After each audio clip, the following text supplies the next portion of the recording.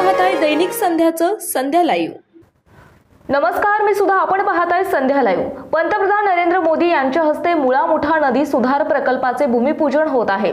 त्यामध्ये मागील दोन दिवसांपासून मुठा नदीत रसायन मिश्रित पाणी सोडले जात असल्याचं समोर आले आहे.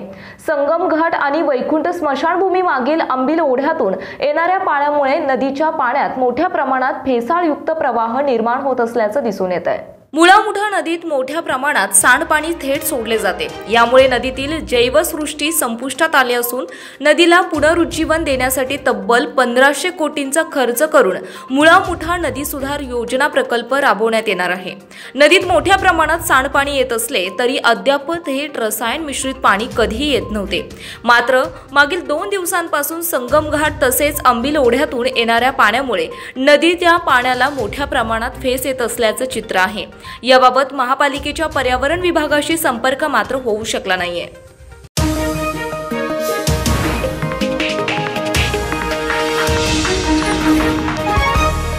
आपण पाहताय दैनिक संध्याचं संध्या लाईव्ह.